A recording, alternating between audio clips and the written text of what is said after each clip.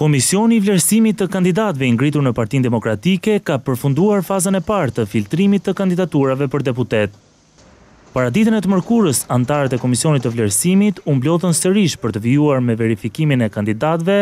dhe pas njëzet e pesë gushtit, kandidatët e propozuar do të plotësojnë formularët e kandidimit. Komisioni do të njoftojë secilin nga emrat e përfshirë në listat e kandidatëve që do t'i nënshtrohet fazës së dytë, që të plotësojë formularin e vetëdeklarimit.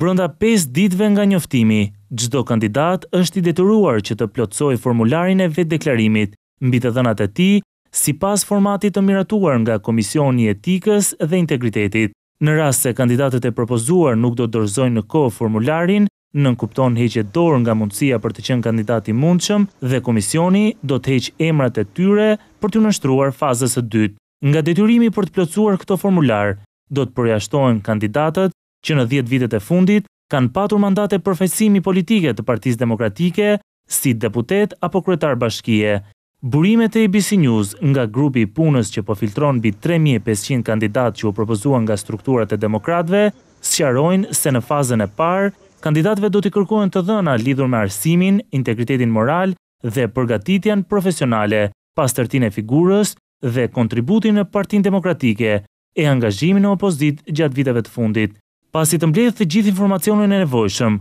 Komisioni i Vlerësimit të Kandidatëve do të bëjë vlerësimin përfundimtar të emrave dhe do të hartojë listat e kandidatëve që do të testohen sërisht nga baza e demokratëve.